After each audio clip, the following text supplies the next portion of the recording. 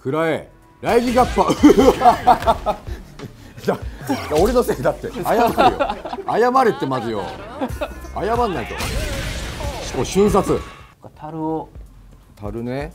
あそういう要素もあるんですね。マジでストリートファファイナルファイトじゃん。あいいねここにライジングアッパーとか。はい。やりたい放題じゃん。めっちゃ写真撮ってるこいつ。おい写真撮んじゃねえお前よ先に移動したりできる。迷惑だな。左手にはい。ビルがあれケンマスターズ財団のビルのうえー。ちょっと前まで。県の会社だ。ここに列が。お列。ストガンの。え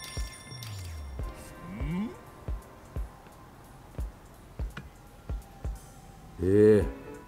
うんうんうん。まさにこのメトロシティ。いいっすね。うわいけるの？レッツと？マジで？強い。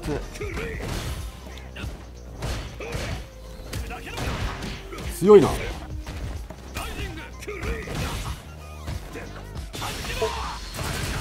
くわい暗いよ強い。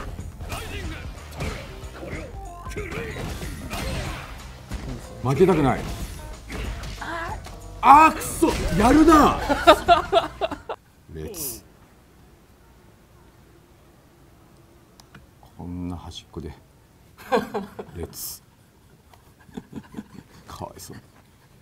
強くなりてえと思って旅してたら同じような連中と巡り合う。ストリートファイターだな。お。アイテムゲット。アイテムゲッなるほど。お。あこういうのももらえるんだ。トそうなんですよ。ああなるほど。できてるくらえいや先頭になった2対 1? レベル高いよこいつら。ちょっと待って強いぞこれ。あなんか上から落ちてくる。なんだなんだなんだ？いやいや気をつけて。ちょ挟み撃ちだ。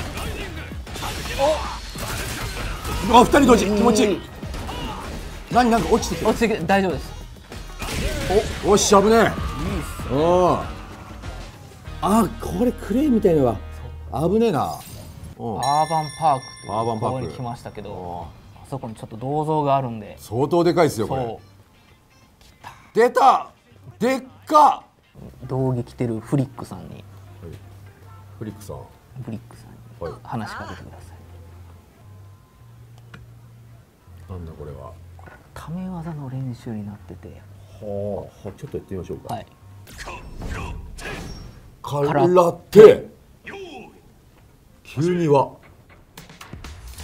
そうそうそうそう。あは。あなるほどこれためキャラの練習になるんだ、はい。ソニックブーンあマジでためキャラの練習になる。なるほど。はいはいは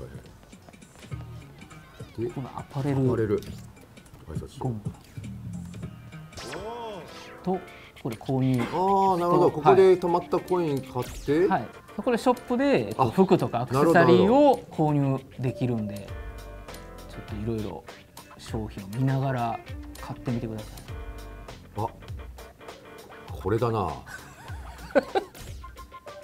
で購入したあの右側にパラメータとか出てるんですけど、うん。購入した衣装を身につけて能力にボーナスが入ったりとか。ええ。あと特定のこの衣装を着てないと進行しないミッションとかあります。ねこれだな。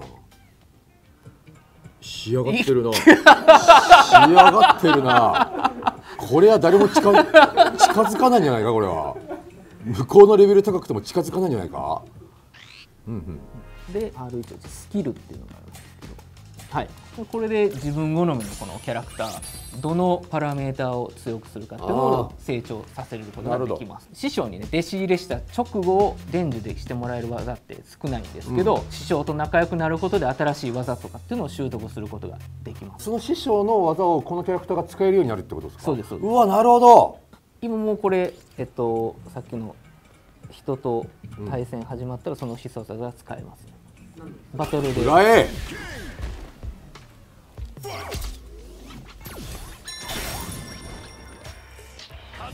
うわあ出た。たちまち旋風脚出せる。うん。すごいぞこれ。この飛行剣 後ろに下がることなく飛行剣出し続けられるぞこれおもれえなこれ。